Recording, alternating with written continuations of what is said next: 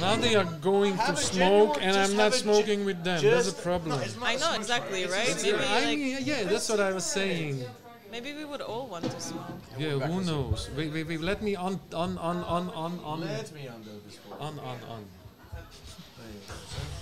All right, now I'll be back in a sec. You guys, um, yeah. this is a conversation I want to have. This is a Alright. You warm up conversation. and you tell me what's going on. Oh my god. This is a conversation. I like that idea, but I don't agree. No, me neither. It's just like I was thinking about No, it. No, but in terms of schizophrenia, it is actually possible. Yeah. So in theory, you could actually be in a hospital right now, thinking that you're living a life, but in reality, you're just sitting in your yeah, hospital. I guess so. And everyone you know and everyone you see are just in the It's same uh, hospital, you know? Yeah. I mean, everyone you know in your dream or everyone you know for real. But because they don't they don't have a reality in that Yeah. state. So they basically think that they're living a life, Yeah, yeah. but I, I actually they're not living a life. So everyone they know, like they think they know, or they they, they think they went to work, or they think they went Ah, yeah, somewhere. yeah, yeah, of and course. everyone they see when they go somewhere is actually just like people who work with them, like so the nurses in the hospital or something else, and they think it's a different reality. Ah, ah, so you're not saying that this person is actually lie, uh, lying on the bed and having He's this just in the hospital. you know? lucid um, Yeah, it's not like a dream. It's more uh, it's more like altered reality. altered reality. Yeah, And uh, they Yeah, yeah, just I so because like they hallucinate so much yeah, yeah. in that yeah. state that like all of their hallucinations make up a life for them when in reality they're not Mm. not doing that. You oh know? yeah, but but that's like that's an interesting thing because if uh, if their brain works in a way that works like constructs a different reality for them from the environment, yeah. then actually it's still they can move around in that reality in because still it's the same environment Yeah. but their brain is just constructing it differently for them so that means that their brain should be able to work out the parts where that person can basically stay alive do whatever he wants Yeah, exactly. in a way or or I don't know depends because But I mean, there are very different stages of it. There are Oh, yeah. stages in which they don't even eat unless you bring them food, you know, because they don't think about that they need it. So Oh, they don't understand that they need it for survival. So like they always need someone to bring it to them. yeah yeah yeah Or like do it for them, but but they believe that they're like doing something when they're not doing anything. Like Ah, you say I don't know if, yeah, if we can imagine, yeah, but I don't, I don't think. because they don't even have conversations with people, but like in their In their head, head, their head. they're talking, they're doing something, they're meeting people, they're like yeah. living a life when they're actually just stuck in their room of the Yeah. hospital.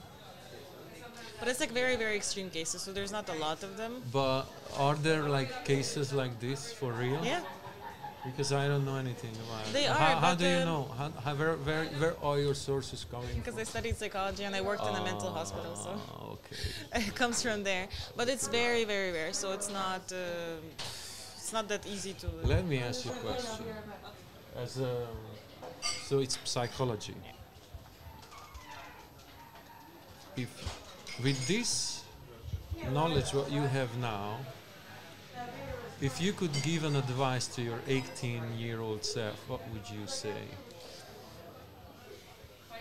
If you want to answer, you don't have to. To my 18-year-old self, Yeah. it's like I already started studying psychology at the time. It doesn't have to be related to psychology. No, in general, that I already like started to think about it when I was Ah. 18. But I think I would say that um, you should listen to people more. Mm. That would be the most. Uh, I would give this advice to anyone. I think not only What do you mean about listen Because in a lot of cases, um, more?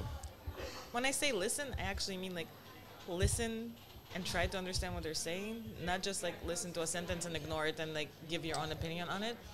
Because in a lot of cases, like we judge people too fast, we make our own opinions too fast. We base our opinions are basically nothing, just like how do people look, or maybe one word that they said, or whatever they did there. And in a lot of scenarios, like there's so much more behind this person. There's so much more for their story that we will never know Yeah, of and course. that uh, because of course no one's gonna come up and start saying oh this and this happened to me in my life and that's why i behave like this right or this is why i said this but in every single scenario it comes from something. Yeah. It comes from some place, and all of those people they lived through something that made them say certain things, or made them believe certain things, or act in a certain way. And a lot of people just ignore that, and they base their judgment on it because like they don't believe it, you know. Well, the question is so to listen and to try to understand, Mm-hmm. you mean try to understand uh, where their uh, where is coming from, or, or what they say, where is coming from. Yeah, because I think a lot of a lot in a lot of cases you can get like obviously offended or maybe upset about some things that people say, possibly in situations, but most likely they don't mean it even in that way. And they're coming from a very different place than what you understand because everything that people say is interpreted by you, Yeah, by yourself and by your experiences and by your past. uh, So yeah. most of the time we react in a certain way in a certain situation because in the past someone said something similar and we were offended by it or maybe hurt by it. But maybe this person is not coming from the same place, you know, maybe it's not the same scenario, not the same I situation. understand what you're saying, but you know why I think this is basically impossible to do? Because there are so many people in, in our lives who we meet. And if we would have to take the time to um, understand where are they coming from, let me finish my, uh, then we would never have basically time for anything else. Uh, maybe, I don't know. But, so the question is how could we um, resolve this paradox? I think it's just being. I know it will sound maybe silly, but it's just being more simple, like in general, being more mm-hmm. simple in life. Because in a lot of, you know, in a lot of ways, like everyone wants to be accepted for who they are, right?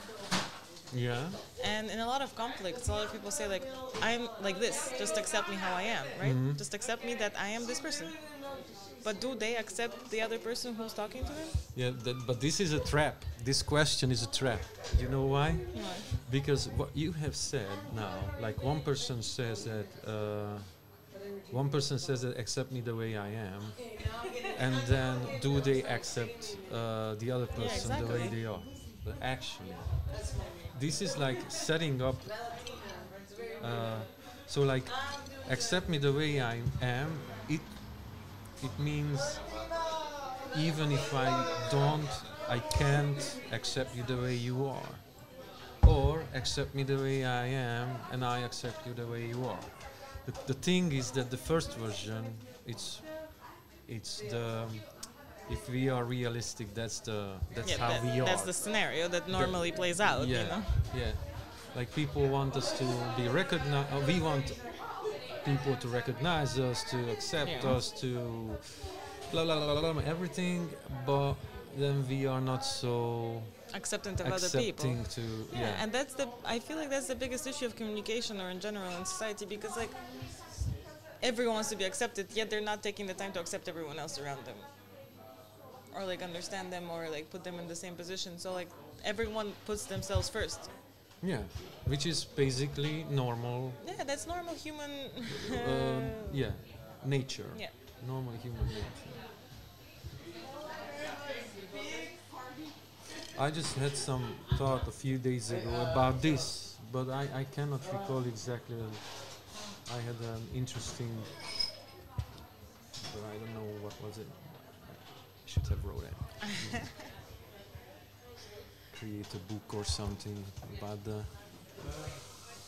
about the interesting things. So you studied psychology. Mm-hmm. Alright, guys, we're gonna have a special guest come on. Also, like So we'll uh, continue this conversation. postgraduate Or we could continue this con- this very conversation. Actually,